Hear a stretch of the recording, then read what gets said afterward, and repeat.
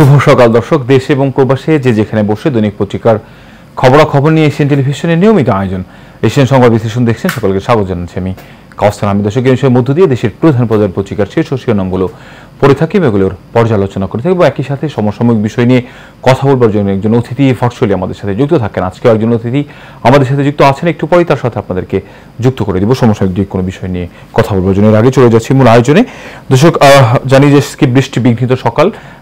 গতকালকে বিকেল থেকেই টানা মুষলধারে বৃষ্টি হচ্ছে এবং সেই বৃষ্টির রেস কিন্তু আমাদের যে নিয়মিত আয়োজন, সেই আয়োজনেও পড়েছে। আমরা দেখেছি, আমার হাতে কিন্তু এখনও পর্যন্ত সবগুলো পত্রিকা পৌঁছায়নি বৃষ্টির কারণে। এখন যে পত্রিকাটি রয়েছে, সেটা নিয়ে আমরা আলোচনা করছি। পরবর্তী সেই পত্রিকাগুলো আসার সাথে সাথে সেগুলো সংবাদ শিরোনাম আপনাদেরকে জানানোর চেষ্টা করব। দর্শক, আমরা চলে যাচ্ছি মূল আয়োজনে। আয়োজনের শুরুতেই যে পত্রিকাটি আমার হাতে এই মুহূর্তে রয়েছে, সময়ের আলো। সময়ের আলো যে পত্রিকাটি যেটিকে সংবাদ শিরোনাম করছে, হাইকোর্টের রায় প্রকাশ। সরকার চাইলে কোটা পরিবর্তন করতে পারবে। রাজধানীর শাহবাগে গতকাল পুলিশের ব্যারিকেড ভেঙে মিছিল নিয়ে গিয়ে যান কোটা বিরোধী আন্দোলনকারীরা। সংঘর্ষে আহত অর্ধশত। ব্যারিকেড ভেঙে অবরোধ। বিভিন্ন স্থানে পুলিশের লাঠিচার্জ টিয়ারশেল ফাঁকা গুলি, সাংবাদিকদের উপর হামলা, সংসদে আইন পাশ না করা পর্যন্ত আন্দোলন আজ বিক্ষোভ। শিক্ষার্থীদের ক্লাসে ফেরাতে সব উপাচার্যকে চিঠি ইউজিসির। দর্শক, আমরা দেখছিলাম যে গত কয়েকদিন ধরেই যেই আন্দোলন চলছে কোটা বিরোধী আন্দোলন, সেই আন্দোলন কিন্তু প্রতিনিয়তই আমরা দেখছি যে পুরো বাংলাদেশে ছড়িয়ে পড়েছে এবং গতকালকের এবং এর আগের দিন কিন্তু দেখেছি যে পুরো বাংলাদেশকে যে বাংলা ব্লকের নামে তারা যে কর্মসূচি তাদের ঘোষণা করা হয়েছে, সেই বাংলা ব্লকের কর্মসূচির আওতায় কিন্তু তারা বাংলা, পুরো বাংলাদেশের একদম পুরো অচল অবস্থা তৈরি করে ফেলে এবং প্রধান প্রধান যে সড়কগুলো রয়েছে, মহাসড়কগুলো রয়েছে, সেই মহাসড়কগুলো বন্ধ করে দিয়ে ট্রেন, ট্রেনের যে রাস্তা রয়েছে, চলাচলের রাস্তা, সেগুলো বন্ধ করে দিয়ে তারা তাদের আন্দোলন কর্মসূচি চালিয়ে গিয়েছিলেন। গত পরশু দিন গতকালকে তাদের যেই গতকালকে তাদের যেই অনুষ্ঠান সূচি ছিল, সেই পূর্ব নির্ধারিত যে ওই আয়োজন, তাদের সেই আয়োজনেও কিন্তু তারা বৃষ্টি উপেক্ষা করেই সেই আন্দোলন তারা সফল করতে গিয়েছিলেন এবং সেখানে কিন্তু ডিএমপি কমিশনার পক্ষ থেকে বলা হয়েছে যে আসলে তাদেরকে তাদের বিরুদ্ধে ব্যবস্থা নেওয়া হবে। কিন্তু আমরা দেখেছি যে পুলিশের সমস্ত ব্যারিকেড ভেঙেই যে কোটা বিরোধী আন্দোলন যারা করছেন, তারা কিন্তু তাদের আন্দোলনকে সফল করেছেন। এবং একটি বিষয় সেটি হচ্ছে যে এই আন্দোলন করতে গিয়ে কিন্তু সারা বাংলাদেশে বেশ কিছু ঘটনা ঘটেছে। এর মধ্যে আমরা দেখেছি যে কুমিল্লা বিশ্ববিদ্যালয়ে যে ঘটনা ঘটেছে, এখানে পুলিশ কিন্তু ফাঁকা গুলি ছুড়েছে এবং একই সাথে টিয়ার সেল নিক্ষেপ করা হয়েছে। আমরা দেখেছি যে ঢাকার রাজধানীর শাহবাগেও কিন্তু সময় টেলিভিশনের সাংবাদিক আহত হয়েছেন। পুলিশের ব্যারিকেড ভেঙে তাদের যে আন্দোলন, সেই আন্দোলন কিন্তু আছে। অর্থাৎ এই যে একটি ঘোলাটে পরিস্থিতি তৈরি হয়েছে হাইকোর্টের একটি রায়ের পর, এখন কিন্তু আবার গতকালকে হাইকোর্ট সেই রায় কিন্তু তাদের বলেছে যে আসলে সরকার যদি চায় সেই কোটা কিন্তু পরিবর্তন করতে পারে। তবে দর্শক আগে থেকেই কিন্তু যারা কোটা বিরোধী আন্দোলন করে আসছিলেন, তারা কিন্তু বলছিলেন যে আমাদের আসলে আন্দোলন হাইকোর্টের রায়ের বিরুদ্ধে নয়। আমাদের আন্দোলন হলো সরকারের কাছে এবং আর সরকারের কাছ থেকেই সরকারের নীতি নির্ধারণী পর্যায় থেকে তারা একটি সিদ্ধান্ত জানতে চান। তারা কিন্তু এটি আগে থেকেই বলে এসেছিল। হাইকোর্টের গতকালকে যে রায়, সেই রায়ের আগে থেকেই তারা বলছিলেন যে যদি সরকার চায় আসলে সরকারের নীতি নির্ধারণী পর্যায় থেকে তাদেরকে যদি কোনো কিছু বলা হয়, তাহলে কিন্তু তারা তাদের এই আন্দোলনকে থামিয়ে দেবেন। এবং আমরা দেখছি গতকালকেও কিন্তু সরকার পক্ষ থেকে কোনো ধরনের কথা কিন্তু আসেনি। উল্টো আরও আমরা সরকারের বেশ কয়েকজন মন্ত্রী সরকার নীতি নির্ধারক যারা রয়েছে, তাদেরকে দেখছি কড়া বিরোধী আন্দোলন যারা করছেন তাদের বিরুদ্ধে কথা বলতে। ফলে এক শ্রেণী- এক ধরনের ঘোলাটে পরিবেশ কিন্তু এই কোটা বিরোধী আন্দোলন নিয়ে তৈরি হয়েছে এবং তারা কিন্তু আজকেও সেই বিক্ষোভ কর্মসূচি তাদের যেটি রয়েছে সেটি কিন্তু আজকেও ডাক দিয়েছেন। ফলে এই যে পরিস্থিতি সেটি আসলে কোন দিকে দিয়ে থামে সেটি কিন্তু একটি দেখবার বিষয় হয়ে দাঁড়িয়েছে। আমরা দেখেছি হাইকোর্ট তাদের যে অবস্থান সেটি পরিষ্কার করেছে। কিন্তু এখন যেটি হয়েছে সেটি হচ্ছে কোটা বিরোধী আন্দোলনের যারা রয়েছে তারা কিন্তু তাদের সরকারের পক্ষ থেকে, সরকারের কাছ থেকে তারা একটি সমাধান চাচ্ছেন এটি। এর পাশে আমরা দেখছি প্রধানমন্ত্রীর চীন সফর। প্রত্যাশা ছিল আরও বেশি। বাজেট সাপোর্টের জন্য পাঁচশো মিলিয়ন ডলারের ঘোষণা। না দেখে হতাশ। মোহাম্মদ শহীদুল হক অবসরপ্রাপ্ত মেজর সাবেক রাষ্ট্রদূত।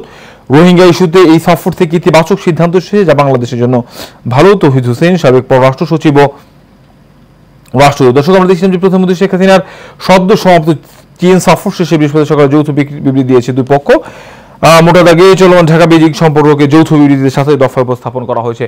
গত আমরা দেখেছিলাম যে প্রধানমন্ত্রী কিন্তু চার দিনের রাষ্ট্রীয় সফরে বা ঢাকা থেকে চীন সফর বেইজিং এর সফরে গিয়েছেন আমরা দেখছিলাম যে চতুর্থবার ক্ষমতায় যাওয়ার পর ভারতের প্রধানমন্ত্রী নরেন্দ্র মোদী ভারতে এবং দ্বিতীয়বারের মতো কিন্তু চীনে সফর করেন প্রধানমন্ত্রী। এবং সেখানে বাংলাদেশের যে এই সংবাদটিতে যেটি উল্লেখ করা হয়েছে, বাংলাদেশের যে প্রত্যাশা ছিল, সেই প্রত্যাশার জায়গা থেকে খুব বেশি একটি পাওয়া যায়নি। তবে একটি ভালো সংবাদ হচ্ছে গিয়ে, সেটি হচ্ছে যে অনেকদিন ধরেই বাংলাদেশ রোহিঙ্গা যে সমস্যার সমাধান নিয়ে যে সংকট তৈরি হয়েছিল, রোহিঙ্গাদের নিয়ে যেই সংকট বাংলাদেশে তৈরি হয়েছিল, সেই সংকটে কিছুটা হলেও লাগাম পড়বে বলে সবাই ধারণা করছেন। কারণ রোহিঙ্গা ইস্যু নিয়ে যেখানে প্রধানমন্ত্রী সব সম্মেলনে নিজেই এই বিষয়টি নিয়ে কথা বলেন, এটি সমাধান করবার জন্য।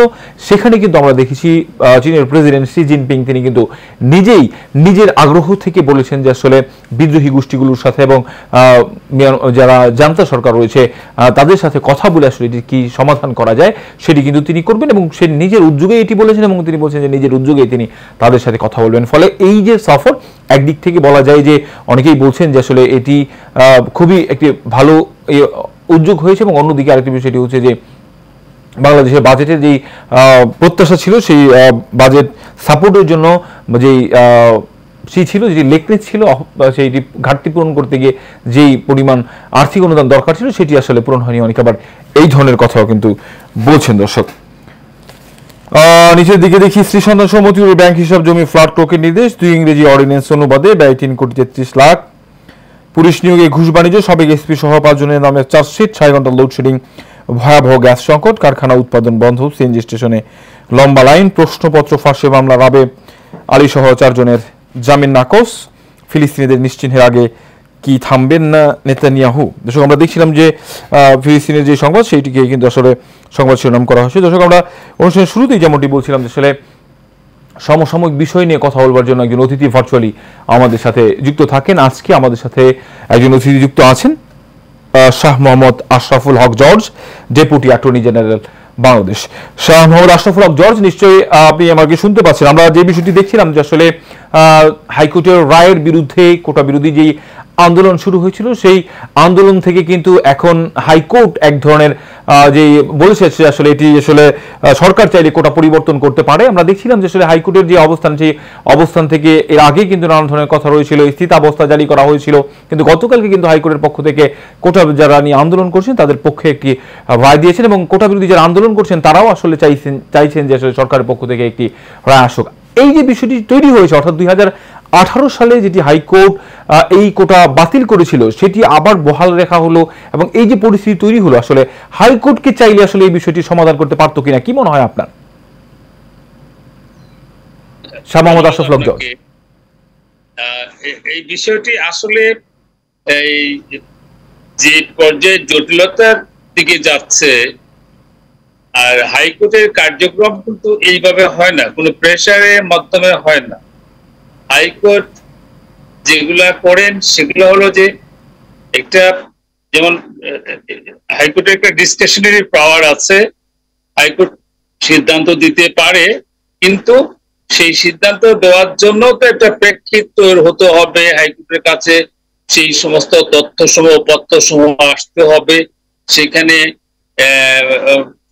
যে পক্ষ যে দাবি নিয়ে যায় বা যে ইস্যু নিয়ে যায় বা যে তার যে যৌক্তিকতা নিয়ে যায়, এখানে বিশেষ করে এখানে হাইকোর্টের যে পাওয়ারটা আছে সেটা হলো কনস্টিটিউশনের one hundred two discretionary power, যে এই সমস্ত ক্ষেত্রে মহামান্য হাইকোর্ট তার ডিসক্রিপশনারি পাওয়ার প্রয়োগ করে যে কোনো আদেশ রোহিত করা প্রদান করা বা কোনো কিছু থেকে বিরত রাখা বা চলমান করা ইত্যাদি ক্ষেত্রে মহামান্য হাইকোর্ট আদেশ প্রয়োগ করতে পারেন, সেই ক্ষমতা আমরা হাইকোর্টের দিয়েছে আমাদের কনস্টিটিউশন এটা আমাদের সাংবিধানিক একটা ইয়ে আমাদের যে পবিত্র সংবিধান পবিত্র সংবিধান হাইকোর্টকে ক্ষমতা প্রদান করেছে। এখন কোন বিষয়ে এক পাশ হাইকোর্ট কিন্তু হঠাৎ করে কোনো কিছু সিদ্ধান্ত দিতে দেয় না। এটা এটা বৈচারিক ব্যাপার। এটা দুই পক্ষকে শুনে বিচার বিশ্লেষণ করে যুক্তিসঙ্গত যেটা মনে হবে, বিচারকের মনে যেটা উদয় হবে সেটা বিচারক করেন।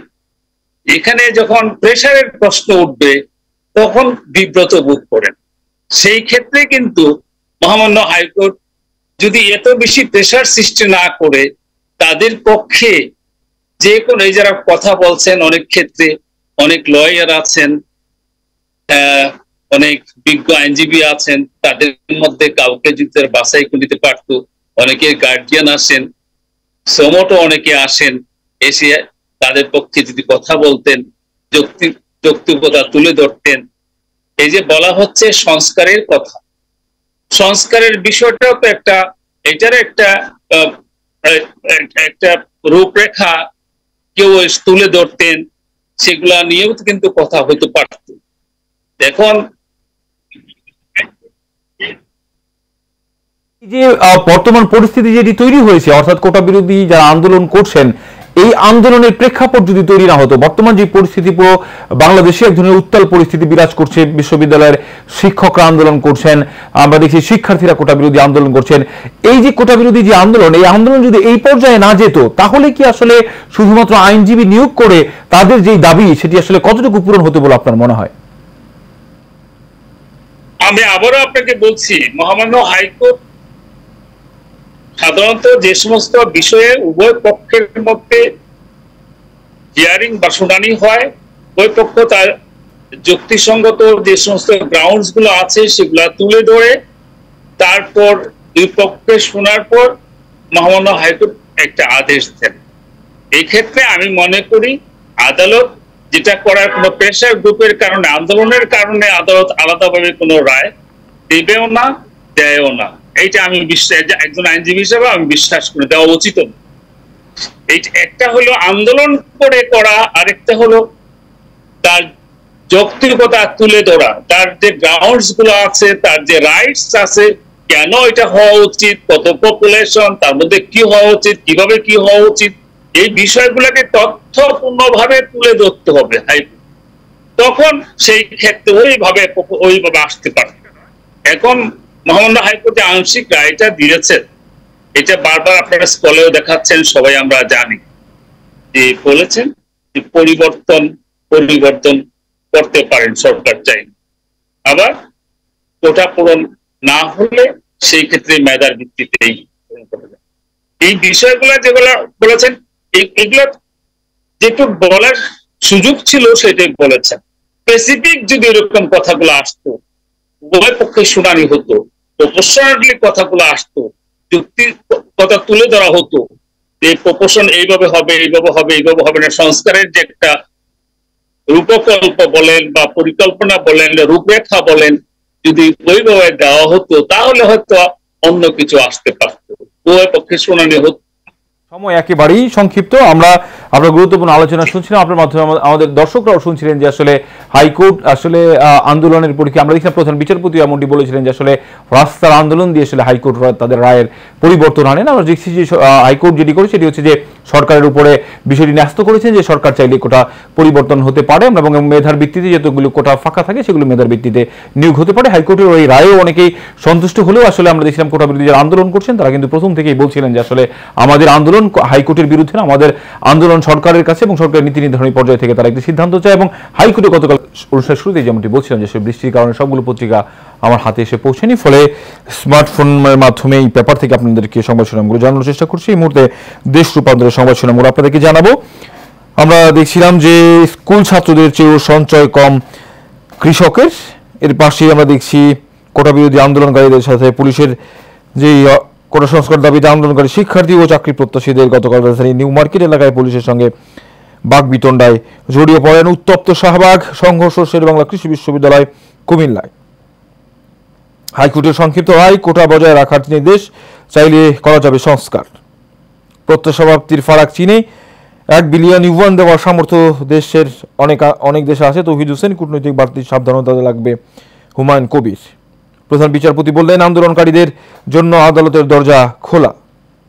সংসদীয় কমিটির বৈঠক, বিদ্যুতের মিটার নিয়ে এমপি, সিআরডির তালিকায় শতাধিক কর্মকর্তা, প্রশ্ন ফাঁসে ফাঁসে সুবিধাভোগী, সুবিধাভোগীদের নাম বলছেন গ্রেফতারকৃতরা, ঝাড়ুদারকে নিয়ে প্রশ্নপত্র বের করা হয়। এডিসি কামরুলকে বরখাস্তের সুপারিশ সিএমপির, গ্যাস সংকটে বেড়েছে লোডশেডিংও, মেয়েকে বাবা, চাচাকে ভাতিজা, শাশুড়িকে জামাইয়ের হত্যা। গ্রামে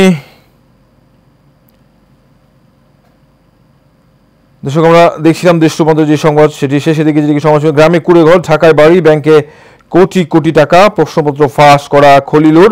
তেত্রিশ বিসিএস দশ জনের কাছে প্রশ্ন বিক্রি করেছেন। এর মধ্যে তিনজন বর্তমানে বিসিএস কর্মকর্তা। মিরপুরে পাইকপাড়ায় আলিশান বাড়ি ব্যাংকে আছে কোটি কোটি টাকা। দর্শক এই প্রশ্ন ফাঁসের যে বিষয়টি সেটি কিন্তু এখন প্রতিনিয়ত একের পর এক সামনে চলে আসছে এবং যারা এর সাথে জড়িত তাদের নামও কিন্তু একের পর এক বের হয়ে আসছে। দর্শক এরপর রয়েছে বাংলাদেশ প্রতিদিন পত্রিকা, বাংলাদেশ প্রতিদিন যেটিকে সংবাদ শিরোনাম করেছে, সেটি আপনাদেরকে জানাচ্ছি এক এক করে। সংঘাতে গড়ালো আন্দোলন, ঢাকা, কুমিল্লা, চট্টগ্রামে পুলিশের সঙ্গে কোটা বিরোধীদের সংঘর্ষ, লাঠিচার্জ, আহত তেইশ, ব্যারিকেড ভেঙে অবস্থান, বাধায় বিভিন্ন স্থানে পণ্ড, মাঠে ছাত্রলীগ, সমর্থন ছাত্র দলের ক্লাসে ফেরাতে ভিসিদের চিঠি। মতিউরের সম্পদের পাহাড়, জব্দের আদেশ আরও তেইশ একর জমি, চার ফ্ল্যাট ও তেরো কোটি টাকা দর্শক আমরা দেখছিলাম যে কদিন ধরে যে দুর্নীতির যে সংবাদ, সেই সংবাদগুলো প্রকাশিত হচ্ছে এবং মতিউর যে রয়েছে এনবিআর এর কর্মকর্তা, সেই এনবিআর এর কর্মকর্তা মনে হচ্ছে যে সম্পদের খনি বলা হয়। আমরা দেখছি যে খনির মধ্য থেকে যেমন যেই পদার্থগুলো রয়েছে সেগুলো যেমন বের হয়ে আসতে থাকে, মতিউরের যেমন সম্পত্তি একের পর এক বের হয়ে আসতে আসে। আমরা দেখছি যে আসলে একের পর এক প্রতিনিয়ত কোনো না কোনো জায়গায় খবর পাওয়া যাচ্ছে মতিউরের সম্পত্তির। আমি নিজে দেখেছি হার্ডলাইনে যাচ্ছে সরকার জানমাল অনিশ্চয়তায় পড়লে বসে থাকবে না পুলিশ, স্বরাষ্ট্রমন্ত্রী আবেগ পুঁজি করে অরাজকতা করলে ব্যবস্থা কাদের? কোটা সংস্কার প্রয়োজন অযৌক্তিক ব্লকের ছাত্রলীগ। কোটার হার বাড়াতে, কমাতে পারতে পারবে সরকার, হাইকোর্ট। দাবি আদায় না হওয়া পর্যন্ত ক্লাসে ফিরবেন না শিক্ষকরাও। দর্শক, আমরা দেখছিলাম যে শিক্ষার্থীদের আন্দোলনের মধ্যে শিক্ষকদের আন্দোলনে কিছুটা ভাটা পড়েছে, কিন্তু শিক্ষকরাও কিন্তু এখনও পর্যন্ত অনর রয়েছেন। তাদের যে অবস্থান, অর্থাৎ যে প্রত্যয় স্কিম রয়েছে, সেটি কিন্তু বাতিলের দাবিতে তাদের যেই আন্দোলন, সেই আন্দোলন কিন্তু তারাও অব্যাহত রাখি রেখেছেন। যদিও আসলে কোটা বিরোধী যে আন্দোলন করছেন, বৃহৎ আকারে বাংলাদেশের মধ্যে, এই আন্দোলনে তাদের আন্দোলনের হয়তো ওইভাবে গণমাধ্যমও খুব বেশি প্রকাশিত হচ্ছে না। তারাও কিন্তু তাদের দাবি নিয়ে কিন্তু এখনও পর্যন্ত একাত্তা রয়েছেন। প্রশ্ন হাই প্রোফাইল কর্মকর্তারা অফিস সহায়ক প্রহরী দুজনই কোটিপতি। প্রিয়নাথ বিশ লাখ চুক্তি করতেন আলমগীরের কোচিং সেন্টারের যত রহস্য। দর্শক, জানাচ্ছিলাম, বাংলাদেশ প্রতিদিনের সংবাদ শিরোনামগুলো। এই মুহূর্তে আমার হাতে রয়েছে যুগান্তর পত্রিকা। যুগান্তর পত্রিকা যেটিকে সংবাদ শিরোনাম করছে, সেটি আপনাদেরকে জানাচ্ছি এক এক করে। যুগান্তরের সেই একই সংবাদ আমরা দেখছি। সরকারি চাকরিতে নিয়োগে কোটা সংস্কারের দাবিতে বৃহস্পতিবার শাহবাগে পুলিশের ব্যারিকেড ভেঙে এগিয়ে যাচ্ছেন আন্দোলনকারী শিক্ষার্থীরা। কোটা সংস্কার আন্দোলনে পুলিশের বাধা, ব্যারিকেড ভেঙে অবরোধ। কুমিল্লায় সংঘর্ষ গুলি আহত ছাব্বিশ, শেরেবাংলা কৃষি বিশ্ববিদ্যালয়ের সংঘর্ষ, আহত দশ। চট্টগ্রামে পুলিশের লাঠিচার্জ তারা ভেঙে রাজপথে যাবে শিক্ষার্থীরা, রাজশাহী রেলপথ অবরোধ। হামলার প্রতিবাদে আজ বিকাল চারটায় সারা দেশে আবারও বিক্ষোভ মিছিল করবে কোটা বিরোধে আন্দোলনকারীরা। মতিউর পরিবার অবৈধ সম্পত্তি shooting spot, plot, flat, bank হিসাব জব্দের নির্দেশ। জন দুর্ভোগ না বাড়িয়ে আইনসঙ্গত পথ খুঁজুন কোটা বিরোধী আন্দোলনকারীদের প্রতি ছাত্রলীগ সভাপতি। সবচেয়ে অস্থির সময়ের মুখোমুখি ছিল অর্থনীতি, বিপিএসসির প্রশ্ন ফাঁস, খুঁজছে, উত্তর খুঁজছে সিআইডি। আগামী সপ্তাহের মধ্যে হতে পারে আলোচনা। দর্শক, বেশ কয়েকটি পত্রিকার সংবাদ শিরোনাম আপনাদেরকে জানাচ্ছিলাম। আজকে সবগুলো পত্রিকা যে বিষয়গুলোকে প্রাধান্য দিয়ে সংবাদ শিরোনাম করেছে, সেটি হচ্ছে যে গতকালকে যে কোটা বিরোধী আন্দোলন এবং সেই আন্দোলন নিয়ে যে একটা উত্তপ্ত পরিস্থিতি তৈরি হয়েছে সারা দেশে, সেই পরিস্থিতি কিন্তু সবগুলো পত্রিকা আজকে সেটিকে ফুটিয়ে তুলেছে এবং আজকেও তাদের যে কর্মসূচি, সেই কর্মসূচির মধ্যে আজকে চারটা থেকে তাদের আবার বিক্ষোভ কর্মসূচি রয়েছে এবং সরকার কিন্তু ধীরে ধীরে তাদের যে অবস্থান, সেটি স্পষ্ট করছেন এবং গতকাল স্বরাষ্ট্রমন্ত্রী কিন্তু বলেছেন যে আসলে জানমালের যদি ক্ষতি হয়, তাহলে পুলিশ কিন্তু ছেড়ে দিয়ে কথা বলবে না। এখন আসলে দেখা যাক যে এই যে অবস্থান, কোটা বিরোধীদের যেই অবস্থান এবং সরকারের যে অবস্থান, সেই অবস্থান থেকে আসলে বর্তমান পরিস্থিতি আসলে কোন দিকে মোড় নেয়? কোটা বিরোধী যে আন্দোলন, সেই আন্দোলন সফল হয় নাকি যারা কোটা বর্তমান যেটি রয়েছে, সেই কোটা বহাল থাকে, সেটি এখন দেখবার অপেক্ষায় রয়েছে পুরো জাতি দর্শক। এর মধ্য দিয়ে শেষ করতে হচ্ছে দৈনিক পত্রিকা খবরাখবর নিউশন টেলিভিশন নিয়মিত আয়োজন নিউশন সংবাদ বিশ্ব অনুষ্ঠান। আগামীকালকে দেখা হবে একই জায়গায়, একই অনুষ্ঠানে ততক্ষণ পর্যন্ত ভালো থাকবেন, সুস্থ থাকবেন, ধন্যবাদ সবাইকে।